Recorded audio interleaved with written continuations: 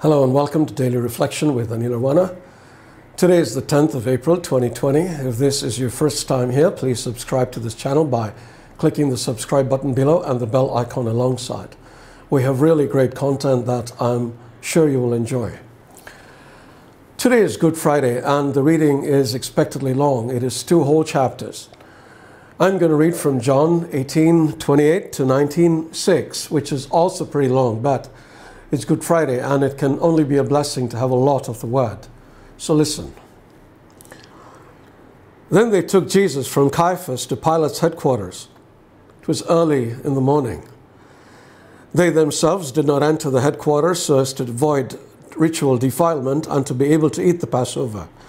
So Pilate went out to them and said, What accusation do you bring against this man? They answered, if this man were not a criminal, we would not have handed him over to you. Pilate said to them, Take him yourselves and judge him according to your law. The Jews replied, We are not permitted to put anyone to death. Then Pilate entered the headquarters again, summoned Jesus, and asked him, Are you the king of the Jews? And Jesus answered, Do you ask this on your own, or did others tell you about me? Pilate replied, I am not a Jew, am I? Your own nation and the chief priests have handed you over to me. What have you done? Jesus answered, My kingdom is not from this world. If my kingdom were from this world, my followers would be fighting to keep me from being handed over to the Jews. But as it is, my kingdom is not from here. Pilate asked him, so you are a king. Jesus answered, You say that I am a king. For this I was born, and for this I came into the world to testify to the truth. Everyone who belongs to the truth listens to my voice. Pilate asked him, What is truth? After he had said this, he went out to the Jews again and told them, I find no case against him. But you have a custom that I release someone for you at the Passover. Do you want me to release for you the king of the Jews? They shouted in reply, Not this man, but Barabbas. Now Barabbas was a bandit. Then Pilate took Jesus and had him flogged, and the soldiers wove a crown of thorns and put it on his head, and they dressed him up in a purple robe. They kept coming up to him, saying, Hail, King of the Jews, and striking him on the face. Pilate went out again and said to them, Look, I am bringing him out to you to let you know that I find no case against him. So Jesus came out wearing the crown of thorns and the purple robe, and Pilate said to them, Here is the man. When the chief priests and the police saw him, they shouted, Crucify him! Crucify him! Pilate said to them, Take him yourselves and crucify him. I find no case against him. The Jews answered him, we have a law, and according to that law, he ought to die because he is claimed to be the Son of God. Now, when Pilate heard this, he was more afraid than ever. He entered his headquarters again and asked Jesus, Where are you from? But Jesus gave him no answer. Pilate therefore said to him, Do you refuse to speak to me? Do you not know that I have power to release you and power to crucify you? And Jesus answered him, You would have no power over me unless it had been given you from above.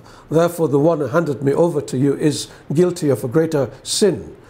From then on, Pilate tried to release him, but the Jews cried out, If you release this man, you are no friend of the emperor. Everyone who claims to be a king sets himself against the emperor.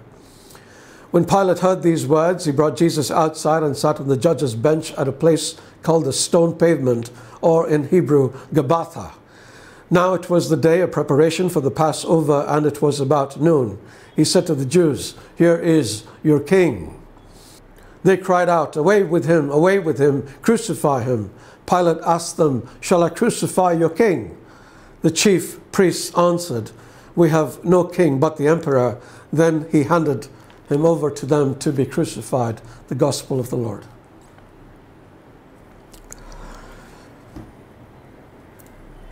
Pontius Pilate was the fifth governor of the Roman province of Judea. Jesus was brought before him for trial, and of all the people involved in Jesus' death, Pilate doesn't seem like much of a villain.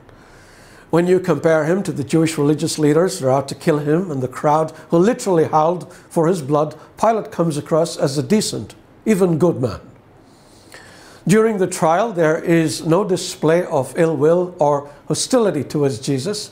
He's curious, mostly trying to find out more about who this man brought before him is. He doesn't quite know what to make of him because Jesus, as usual, speaks in riddles. Pilate doesn't acknowledge that Jesus is the Son of God, but he's wise enough to see that he's not a criminal, so he tries to set him free. But the crowd screams its protest. Deciding to appease everybody, Pilate orders Jesus flogged, but that doesn't satisfy the crowd. They want him dead, and they are going to see him dead. When Pilate tries to free him again, the Jewish leaders tell him that if he does this, he would be going against Caesar, and this changes his mind. He believes, no, he knows the man is innocent, but he's not going to stand up for the truth, not when his career and his future is at stake, and he hands Jesus over to be crucified. And in this is a lesson for all of us. We so wish that Pilate had stood up to the crowds, don't we? We so wish he had not been so weak willed and had the courage to stand up for his convictions, don't we? So, shouldn't we stand up for ours? We need to stand up for the truth. But what is truth, you might ask? Quid est veritas? Pilate famously asked. In a world where each one decides for themselves what is right or wrong, what is truth? There is only one absolute truth, and that is our Lord Jesus. I am the way, the truth, and the life, he declared. If we accept this, then we have to accept the things that he says are absolute truths too. And if we accept this, then we have to stand up for them, regardless of the pressure of the crowds around us. And I think you have a pretty good idea what these pressures are scorn, prejudice, mockery, challenge, even persecution. And it is not easy to stand up to them.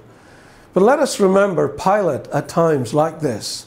He had his moment in history, and now we have ours.